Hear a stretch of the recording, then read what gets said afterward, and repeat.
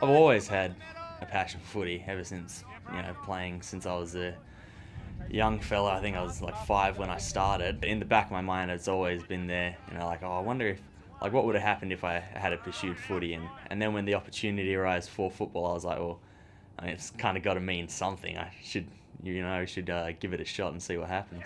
With the Eagles, I feel like I can form a relationship with everyone. So from the top, from like the CEO down to all the players, even the you know the people that give us our massages, the physios, just everyone. It seems like a real family family bond that we have here, which I love. I'm not setting myself a ceiling at all. You know, I don't want to go out there and say I'm just going to play for East Perth this year because I've had so much time off. So I'm going out there every day and I'm going to work to play, you know, in the AFL. But then in saying that, I'm also realistic about my chances and knowing that I'm going to have to really perform well at East Perth level to be able to get given a shot.